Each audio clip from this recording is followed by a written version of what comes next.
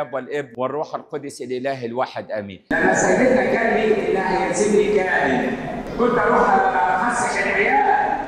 أخذت الست هانم والعيال ورحت فندق في شرم الشيخ وصلنا على الظهريه فكان ده ميعاد استلام الغرف.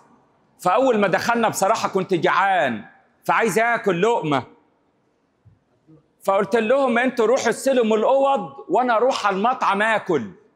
عشان جعان. أنا جاي سايق أنتوا كنتوا نايمين. أنا نروح ناكل. قالوا لي طب ده التشيك ان خلاص الورق اللي, اللي هنستلم. قلت لا أنا لازم ناكل الأول. روح أنتوا أخدوا الشنط وراحوا الغرف وأنا رحت دخلت المطعم. أخدت طبق كبير كده حلو وجيت لقيت راجل موجود قدامي. أخدت واحدة ورك فرخة مشوية. أخدت واحد بس. فبصيت على الراجل لقيته باصص عليا. قلت له ينفع آخد واحدة تاني؟ قال لا يا فندم طبعا. وريني. أخد الطبق مني وعبالي واداني فلقيته قدامي أربع خمس منابات. مش ده مناب؟ أخدت بالأربعة ولا الخمسة؟ قلت إيه ده.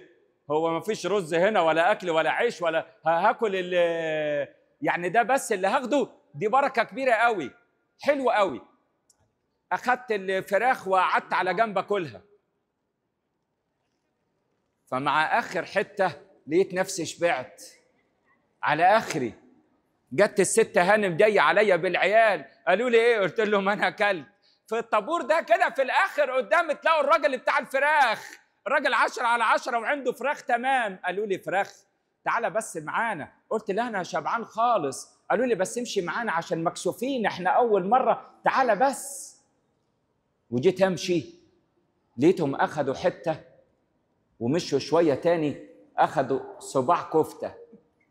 مشوا شوية تاني أخدوا حتة من البطة. قلت يا أخويا الشغلانة دي؟ إيه يا هانم؟ قالت لي إيه يا بابا؟ ده ده حاجة اسمها open buffet قلت لها open buffet يعني إيه؟ قالت لي يعني كل ما لذ وطاب. يعني كل الأكلات الحلوة والأصناف المتنوعة والمتعددة. وخد اللي نفسك فيه أنت كده كده دافع. مش أنت دفعت الاشتراك. خد على قد ما تقدر اللي أنت عاوزه. open buffet. والكنيسة في نهضة أمنا العذراء بتعمل لنا أوبن بوفيه. بس الشاطر يروح شبعان. ده شاطر.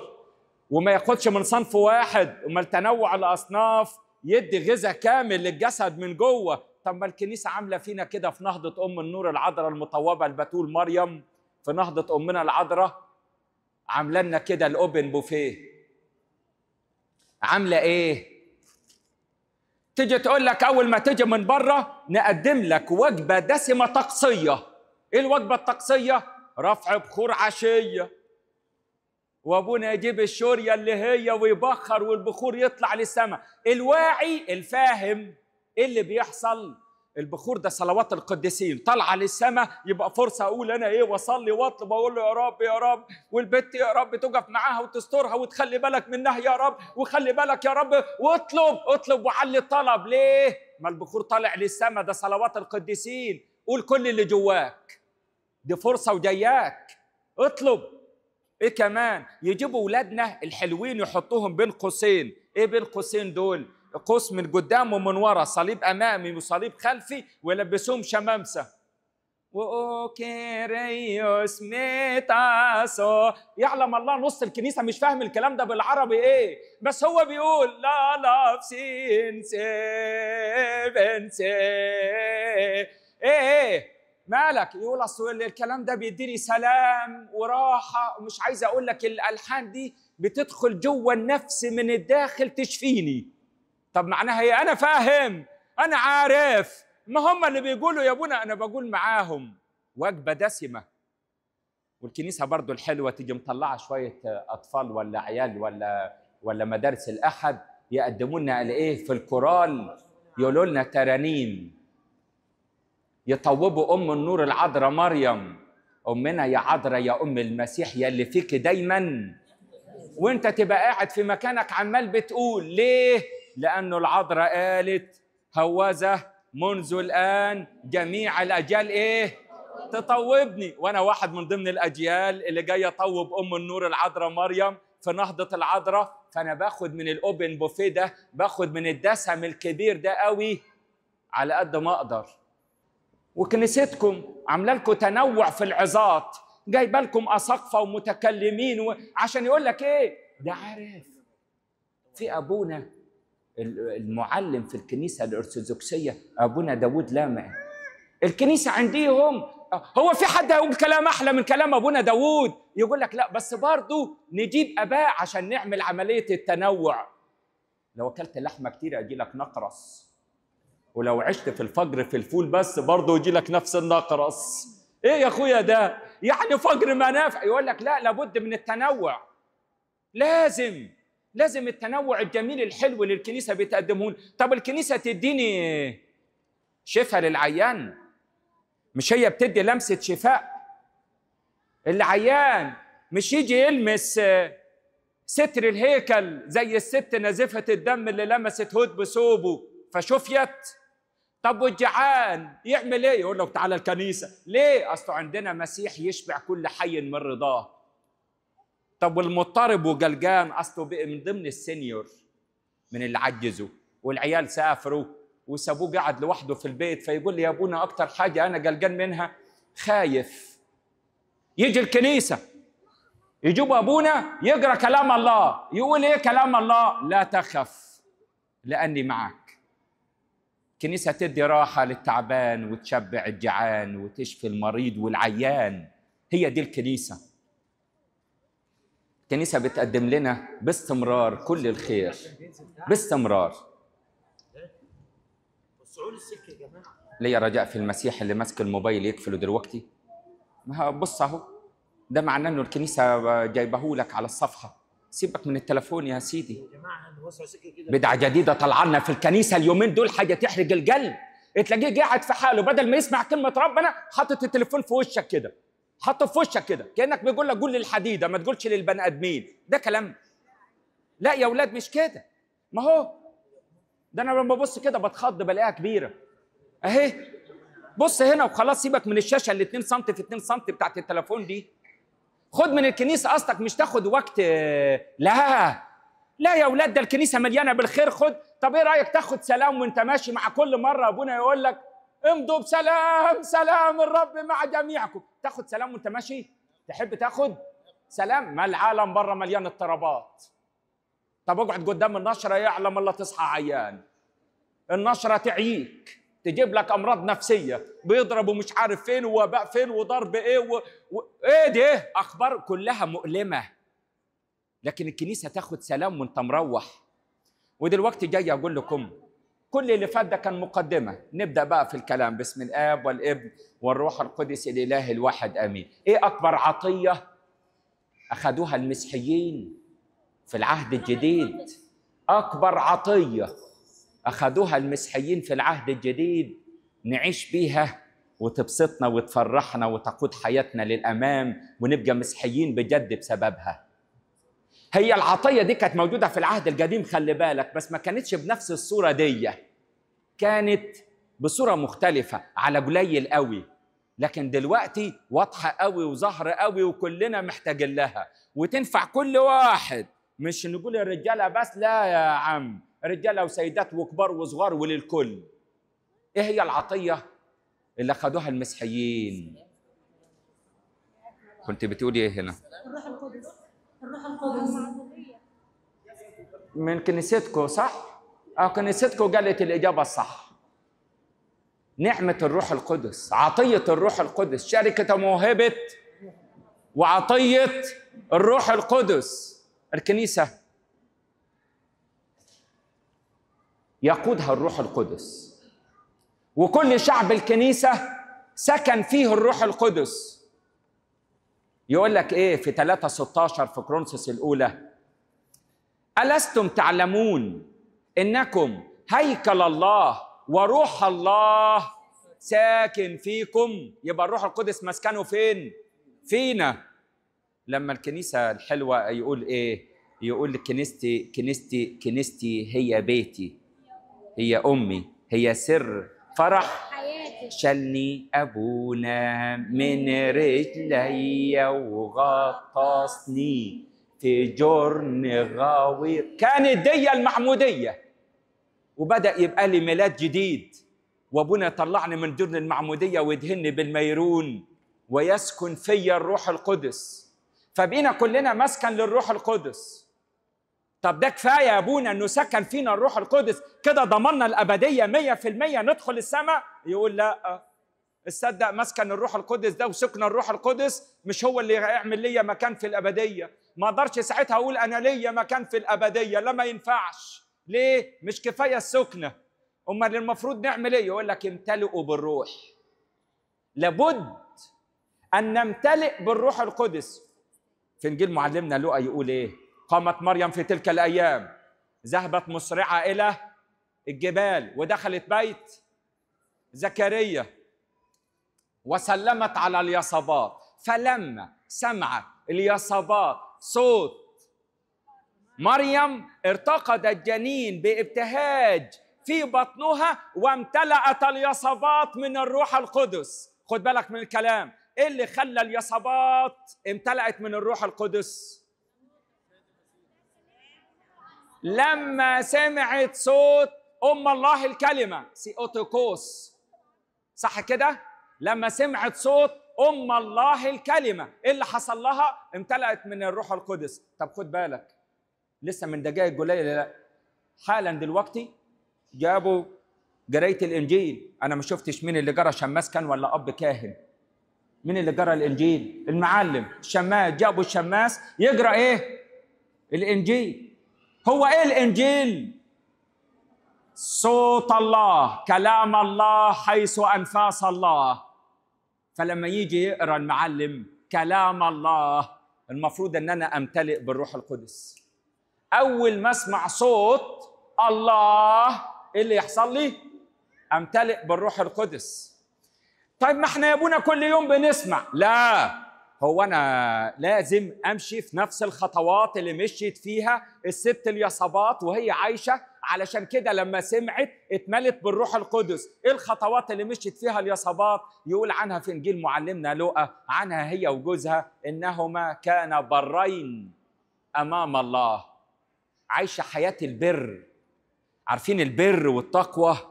يقول لك فلان ده بار. ما بينفعش إنه يغلط. ما بيرضاش. يغلط في القعدة البايخة ما يقعدش فيها أصله ده راجل بار. كلمته وموقفه وعيشته تثبت إنه بار. طب هو جاب البر ده منين؟ قال لك علشان خاطر كانوا يحيوا بوصايا الرب. كانوا يعيشوا بوصايا ربنا. يبقى الامتلاء بالروح القدس عطية من الله لينا كلنا ينفع ناخدها. بس بشرط نكون برين ونكون إيه كمان نحيا بوصايا الله. طب أنا عايز أمتلئ بالروح الله. حد نفسه يمتلئ بروح ربنا؟ حد يعني النيه من جواه نفسه إنه يمتلئ بروح الله؟ إحنا كلنا مسكن لله وده اتفقنا على كده. مسكن لروح الله في داخلنا. طب حد من جواه نفسه إنه يمتلئ بالروح القدس؟ يقول أنا بصراحة آه. أنا عاوز أمتلئ بالروح القدس يا جدعان. طب أعمل إيه؟ يقول لي خد بالك من إنجيل معلمنا لوقا اصحاح 11 يقول حتة حلوة قوي قوي يقول أي إنسان منكم وهو أب إن طلب ابنه منه خبزا أيعطيه حجرا. فيكم راجل أنت والواد ولدك قال لك اديني اكل يا أبويا جيت مديله بالحجر وقلت له سففت التراب وقلت له كل تراب. حصلت منكم؟ ما حصلتش. طب ولو طلب منك سمكة تديله حية؟ برضه لا. وأنتم بعد أشرار تعرفون أن تفعلون الصالحات. فكم بالحري أبوكم الذي في السماوات. فإنه اسمع بقى الكلام الحلو ده إنه يعطي الروح القدس لمين؟ للذين يسألونه. يعني اللي يطلب يلاقي. وقال لك إيه في متى سبعة سبعة؟ اسألوا واطلبوا. اطلب. مش بقول لك تعالى الكنيسة واطلب وعلي الطلب. إحنا بس جايين نقول له القسط. ادفع القسط اللي عليا يا رب ارزقني يا رب القسط والجمعية خلي بالك من العربية. هو يا رب يمشوني من الشغل بيمشوا الناس الدور عليا ولا إيه؟ إحنا ماسكين في الأمور اللي إيه؟ دايما باستمرار. دي الحقيقة. جالي نقول إيه؟ ألف رسالة على الواتساب. صلي البت في ثالثة ثانوي عشان النتيجة. أنا عييت أكتر منهم تعبت من كتر ط... أصحى الصبح ألاقي 132 رسالة إيه؟ صلي للبت في ثالثة ثانوي هي كل البنات في ثالثة ثانوي. إيه شغل إحنا نطلب بس إيه؟ طلبات الأرضية دي صدق مطلوبة برضك الصدق محتاجين لها برضك. بس عارف لو طلبت إن امتلئ بروح ربنا هذا كله يزاد لكم. الموضوع يبقى سهل. الموضوع يسهل علينا ونقبل أي درجة تجيبها البت. لما تجيب أي درجة نقبلها ليه؟ أصل أنت مليان بروح الله مقود بروح الله. روح الله يقود حياتك باستمرار فمش فارقة معاك الدرجة. هو هيدي لمين الروح القدس؟ للي يسأله للي يطلب منه. يبقى تيجي كده تقول له أيها الملك السمائي المعزي روح الحق الحاضر في كل مكان والمالئ الكل كنز الصلاحات. أقول له إيه؟ هلم تفضل وحل فينا. عارف لما تيجي تقول لي اتفضل؟ عيش ويانا. يا ريتك قريبنا يا ابونا كنا نروح ونيجي عليك. قريبنا كلنا اهو. بيته فين؟ ساكن فين؟ كنيسته. بيته المفتوح قدامنا. وقال لي لو جيت الكنيسة وعشت بالوصايا واخدت من الخير اللي بكبه عليكم كب هملاك من الروح القدس فتبقى أنت مش مسكن بس للروح القدس ده أنت تبقى مملوء من الروح القدس. إيه رايك في الحلاوه اللي الكنيسه بتقدمها لنا كل يوم دي؟ موضوع الامتلاء بالروح القدس ده احدى أمر إحنا محتاجين له ان إحنا نمتلئ بالروح اللي في اعمال خمسة يقول الله يعطي الروح القدس عارفين لمين راجع ورايا في اعمال خمسة هتلاقيها مكتوبة كده بالنص. للذين يطاوعونه يبقى الأول إيه؟ أسأل وأطلب إنه يملاني بروح القدوس. إيه كمان؟ اطوع لما يجي يقول لي حب أخوك أقول له ماشي يا رب. يا رب؟ أخويا ضحك عليا في المراس وزور ورق ولبسني في الحيطة وبيجي هو غني وأنا فقير. يقول لي حب أخوك. أقول له يا رب أنا هصدق هو اشترى عمارة وأنا مش لاقي أشتري تربة. مش عارف أشتري جبر أصلا. يقول لي حب أخوك. طب واللي طاوع؟ يتملي بالروح القدس. أنتوا تفكروا العيشه المسيحية عيشة سهلة ولا إيه؟ لا. ده طريق طويل كرب وبابه ضيق. هي دي العيشة المسيحية خلي بالك. عارف لما تلاقي الدنيا احلوت اعرف إنه في حاجة غلط. ده طول ما أنت ماشي في العالم سيكون لكم ضيق. طول ما أنت ماشي في السكة كده. طول. طول الأمر باستمرار. يقول لك ما فيش دخول للسماء غير اللي يشيل الصليب. من أراد أن يتبعني يحمل الصليب. طب واللي ملوش صليب يدور له على صليب يشيله. يشوف صليب واحد غلبان تاني يكون شايل الصليب والفجر جاي عليه يشيل معاه. أصل ما هو دي السكة. أيستوي الذين يخطئون مع الذين لا يخطئون. الناس اللي عايشة بالراحة وبراحتها. زي راجل رحت عنده راجل من الكبارات. عاوز يقنعني أنا إنه الخمر حلال. فيقول لي إيه؟ مضايقين علينا ليه عاملين فينا كده ليه أنتوا أرثوذكس منكم لله مضايقين علينا جامد. طريق طويل وكرب وصعب وأوعى ولا وغلط وح... إيه ليه بس؟ ربنا مش عاوزنا مبسوطين يا أخي. ليه بس يا أبونا؟ ده في عرس قنا الجليل ربنا حول المية الخمرة. أنت مش عاوزني يبقى بيتي فيه خمرة ليه طيب؟ أنا أنا نتبسط يا أبونا وربنا ما عاوزنيش نتبسط ولا إيه؟ ليه بس يا أبونا كده؟ قلت له يا حبيبي إيه رأيك في أعظم مواليد النساء؟ يوحنا المعمدان.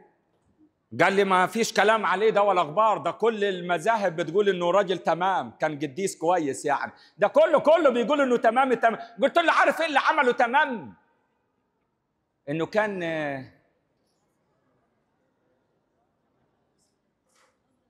خمرا ومسكرا لا يشرب. قال أيوه أنت اللي قلت أهو. خمرا ومسكرا لا يشرب. أنا نشرب خمرة بس ما بنشربش المسكر. قلت له يعني آه دي فكرة برضو. عايز تقول لي يا أخويا إنه إيه؟ أول كاس وتاني كاس دي خمرة. تالت كاس هي المسكر.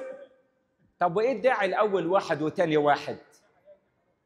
قال لي يعني اصلك ما فيش حلال وحرام. قلت له ماشي خليني معاك. ما فيش حلال وحرام. لا في حلال وحرام. كل الأشياء تحل لي وليست كل الأشياء توافق. اذا كل ما هو لا يوافق حرام.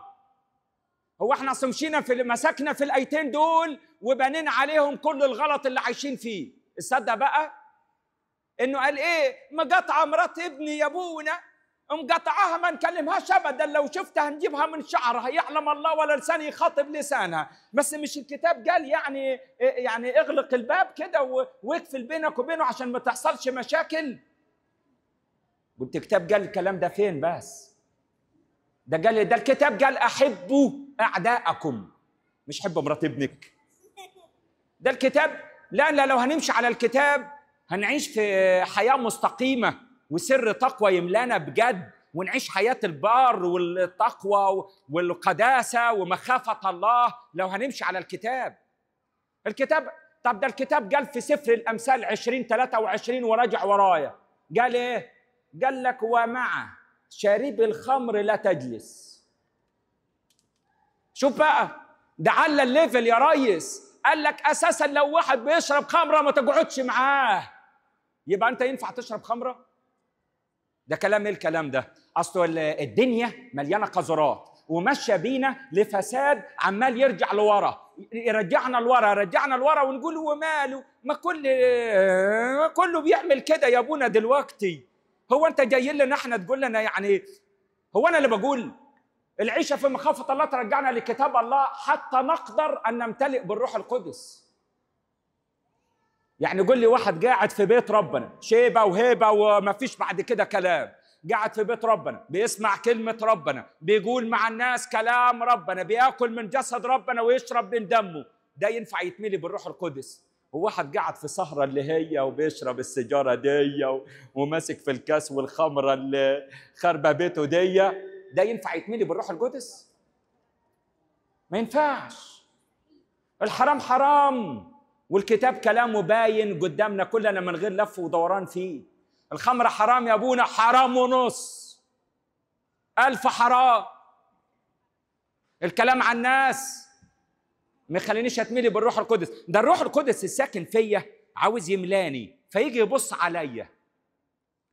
ويشوفني كده وأنا معدي. من جنب مين؟ من جنب الغلبان اللي بيقول حسنة قليلة تمنع بلاوي كتيرة. ادينا أي حاجة. وانت عارف أساسا الفجر جاي عليه هو مش شحات عادي من بتوع الشارع. ده انت عارفه جاي الفجر جاي عليه والمرض ماسك في جسمه وانت عارف ظروفه. فتقول إيه ده؟ هو أنا ماسك الاقتصاد العالمي؟ لا لا. انت امسك أعصابك بقى لما أقول لك على الآية اللي جاية دي اللي بتقول إيه؟ بتقول من يسمع لصراخ المسكين يصرخ ولا يستجاب له. إيه ده؟ هصرخ إمتى أنا عارف في عمليات ولا في حادثة ولا في إيه ما أنت ما مش عارف ت... أنت مجسي القلب ومش عاوز تسمع للغلبان. يبقى تعالى بقى شوف بقى هتصرخ إمتى ومش هيستجاب ليك. الروح القدس عاوز يملاني ويقعد يراقبني. فعشان كده القديس بولس الرسول يقول لك إيه؟ لا تحزنوا الروح. مش ال- الآية المشهورة اللي حافظينها إن السماء تفرح بخاطي واحد يتوب أكثر من تسعة وتسعة يعني السماء بتفرح بمين؟ والروح باللي بيتوب والروح القدس يحزن مع كل خاطي مش عاوز يتوب. أكتر حاجة تحزن الروح لما القلب يكسى ويبقى قاسي. فعشان كده يا حبايبي اليوم إن سمعتم صوته لا تقص قلوبكم. يعني خلي قلبك حنين. ست هانم اللي انت لاوي بوزك عليها دي راضيها بكلمتين يا أخي. ده غلبانة. طينه الطين هي دي فاهمة حاجة. ما لو فاهمة ما كانتش زعلت منك يا حنين أنت. بس هي زعلت ولوت بوزها عليك. تعمل إيه أنت؟ طبطب عليها وراضيها بكلمتين وخلاص ما حدش اخد من الدنيا حاجة. أصل أبونا قالت لي هات وهات وهات وأنا مش هحول من كتر ما بتقول هات. مسكها هي المصاريف مرة كده. هتبطل تقول لك هات النكد ما يخليش الروح القدس يملاك. ده يقول لك أما المرأة النكدية فكخنجر في عظام جوزها. عارف لما واحد يبقى ماشي كده في خنجر ولا مطوة في جنبه يبقى ماشي أرض تهدي يا أرض تشجي وبلعيني. في خنجر فين؟ في جنبه. اوعي تنكد يا غاليه عليه أرجوكي. احتمليه. صدقيني بقل لقمة حلوة يتراضى. هو عايز إيه غير إنه ياكل لقمة يحس إنك تعبتي في طبق الكشري اللي عملتيه. يحس إنك تعبتي في بدل ما تقول هات علبه معاك وأنت جاي. هو ده يعمل رجالة. ما تعملي له انت طبق يا ستي وأكليه خليه يتهلل كده. فساعتها ينفع إنه يتملي بالروح لكن النكد يخليه محطوط وشه في الكتاب منكد. يجي الكنيسة اعمل لنا إحنا الوش الجبس. أجي اسلم عليه كده الاقيه ما حر. إيه يا عم مالك؟ ميت لك ميت ولا إيه؟ يقول لي أنا الميت اللي هموت لنفسي. ده أنا ده أنا على اخر يا ابونا. أو ده جاي جاهز انه يتملي بالروح القدس. ده الروح القدس عارفين يدي إيه؟ من ثمار الروح القدس. حاجة اسمها إيه؟ فرح. محبة فرح سلام. الروح القدس من ثماره يدي إيه؟ فرح. أراكم. فتفرح قلوبكم ولا يقدر أحد أن ينزع فرحكم منكم. وفي بطرس الرسول في الرسالة الأولى يقول إيه؟ افرحوا لكي تفرحوا. شفت الكلام الحلو؟ أجلب وراه وأقول له المفروض تقول افرحوا لكي تصلوا افرحوا لكي تخدموا افرحوا لكي تعطوا. لقيته بيقول لي افرحوا لكي تفرحوا. هو عايزنا نفرح. اللي يتملي بالروح القدس يعيش في سلام. الواد يجيب درجة قليلة وتلاقي السلام مليك. أصلك أنت مليان بالروح القدس. تلاقي الفجر جه والشغل مشوك والإمكانيات المادية ضعفت جو جو جو وتلاقي يقول لك عادي ما إحنا إحنا كده كده نادرين العذراء إن إحنا نصوم على عيش ودجه مش هتفهموا يعني إيه دجه أنتوا بتوع مصر الجديدة. عيش وملح وخلاص. ولا وشلولو يعني عايشين على حاجة بسيطة. مش محتاجة بقى خلاص. الشاطر يمتلئ بالروح حتى إيه؟ لا يحزن الروح. إيه؟ حتى لا يحزن الروح. عارفين في إنجيل معلمنا لوقا؟ أصحاح ثلاثة الوقت خلص صح؟ في إنجيل معلمنا مرقس أصحاح ثلاثة بيحكي لنا الكتاب عن شفاء الراجل أبو يد يابسة. السيد المسيح دخل المجمع لقى راجل إيده يابسة يعني مشلول. إيد واحدة اللي مشلولة. فجي إيه؟ قال ده النهارده سبت. وهم بيتكلموا اليهود اللي موجودين يا ترى هيعمل معجزة يوم السبت ولا لأ؟ فجي نده عليه قال له تعالى يا ابني اقف في النص هنا. إيه؟ قال له اقف هنا. يا حبايب هل يحل فعل الخير في يوم السبت؟ فسكتوا. عارف الكتاب يوضح بكل قوة إيه اللي حصل؟ يقول فنظر إليهم بكل غضب. وحزن في قلبه بسبب غلاظة قلوبهم. إيه اللي يحزن ربنا؟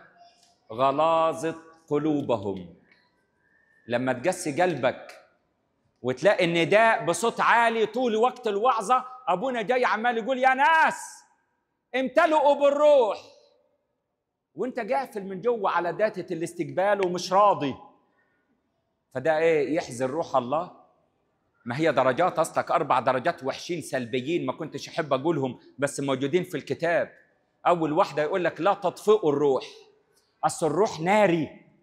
تسمع عن واحد عن بنت ماشية ماشية بطال وركبت مع الواد التوك توك وماشية ماشية بطال وانت طبعك حامي ومش عارف تسكت. جريبتك مش جريبتي بس بنت مسحية وماشيه ماشيه بطال وأنا نقعد ساكت إزاي؟ أنا نجيب خادمة واثنين ونجري وراها وندور. أنا ما قدرش. من يعصر وأنا لا ألتهب؟ من يضعف وأنا لا أضعف؟ عشان الروح ملتهب. مولع زي النار. طب واللي الروح جواه مطفي يقول لك البت دي أصلا من عيله بايظه ابن الهلاك للهلاك يدعى ده عيله هلاك فهلاك يا عم أنا مالي خليني في حالي. ماليش دعوة. ده ما عندوش روح شغال مولع. أمال ده إيه؟ ده روح اللي جواه مطفي. فالكتاب يقول إيه؟ لا تطفئوا الروح. يقول تاني مستوى أعلى شوية. يقول لك لا تحزنوا الروح. عارفين يا حبايبي إن الروح اسمه الروح القدس. يعني إيه؟ يعني روح القداسة. الروح القدس يعني إيه؟ روح القداسة. يقول لك الروح القدس اللي هو روح القداسه يحزن قوي قوي.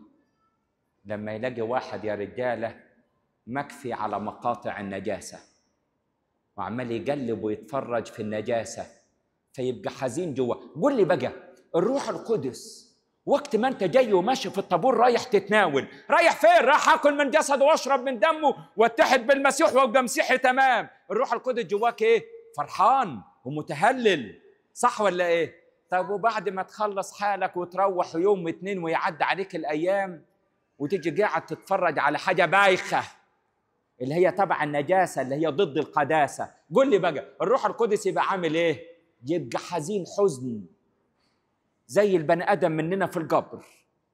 يبقى بيزور في القبر كده بيوصل أمه لباي باي مع السلامة مشيت خلاص ولا أبوه يقول له مع السلامة وراح القبر الحمجه ماسكاه والدموع ماليه عينيه وشوف يبقى حزين شكل الحزن إيه؟ حزن جامد قوي. الروح القدس يبقى حزين جوانا كده. لأنه روح القداسة ماله مال النجاسه أصلا. ملوش دعوة هو بالنجاسة وبالحاجات البايخة. ما لما نيجي نقول إيه تعالوا يا حبايب الكنيسة في نهضة أم النور العذراء مريم. هتلاقي نفسك مع الناس عمال تقول امنا يا عذراء يا أم المسيح. إيه صوتك ماله؟ آه بقول مع اللي بيقولوا يا أبونا. طب لو رحت الحنة بتاعت صاحبك بتروح الحنة تحضر الحنة و... والسواريه بقى و... يا أبوي والدي جي والصوت إيه بقى؟ هينفع تقول لهم إيه؟ يقولوا لك أنت بتعمل إيه؟ نقول لهم بخلص المزامير من الأعماق وصرخت إليك يا رب يا رب اسمع صوتي. ولا بتركن كل الحياة الروحية على جنب؟ ما بتركن الحياة الروحية على جنب. هل بقى هنا الروح القدس مليك؟ طب وهنا الروح القدس كده مليك؟ ولا بيغادرك لحين؟ ما بيرضاش يغادرنا. هو ساكن فينا لكن مطفي وحزين. في مستوى أقوى هو لا تقاوم الروح. واحد قال لي إيه؟ قال لي صدقني يا ابونا أنا نقلب في ال reels. عارفين ال reels؟ قالوا لي عليها المقاطع الصغيرة اللي هي أقل من دقيقة. وأنا بقلب في ال reels يا ابونا أول ما أشوفك لازم أقلب بسرعة. أنا ما بحبش أشوف وشك. ما بحبش أسمع صوتك أصلا. قلت له ليه يا عم؟ يا عم ليه يا عم؟ في طار بيني وبينك يا عم بتتكلم زي الرجالة ما بتتكلم مالك؟ ليه يا عم لما شفتني بتقلب بسرعة ليه؟ قال لي ما كلامك بيوجع. أصلك أنت عايزني أتوب وأنا مش عايز أتوب. أنت عمال تقول كلام زي الرصاص عايزني أتوب وأطلع خطوة في علاقتي بربنا. وأنا مرتاح كده يا عم. يا عم اقطع علاقتك بيا أساسا أنا مش عايز أشوفك يا عم. أنت أنا بسيبك في الكنيسة أروح عليك طلعت لي في التليفون. يا عم ده أنا بقعد القعدة اللي هي يعلم الله رحت أقعد قاعدة مع أصحابي ووزعوا لنا كاسات. أنا شفتك في الكاس. أنت طالع لي من الكاس تقول لي حرام. أنا كل الآباء ما قالوليش حرام قالوا لي لا يليق. لكن أنت قلت لي حرام. منك لربنا أنت. ليه بس كده؟ يا عم اقطع علاقتك بيا. هو بيقاوم الروح القدس عمال يشد فيه الروح. يقول له تعالى الكنيسة ويقول لي بكرة. خليها بكرة. وبكرة يجر بكرة ومعارف بكرة. ده جاي إمتى؟ صعب. صعب إن نوصل لنتيجة إن إحنا نقاوم الروح. وطبعا النقطة الرابعة اللي إحنا ما بنروح لهاش خالص اللي هي لا تجدفوا على الروح ونشكر ربنا دي بعيدة عننا. يعني نشكر الله اللي هو رفض عمل الروح القدس في كياننا من جوه ورفض سكناه فينا. ونقول إحنا مش عايزين نبقى أبقى مسيحي ولا أبقى مسكن للروح القدس. ولكن نحن يا أحبائي لابد أن نمتلئ بروح الله الساكن فينا. نمتلئ بالروح القدس. وكل ما نمتلئ بالروح القدس أكتر وأكتر يبان علينا المسيحيين.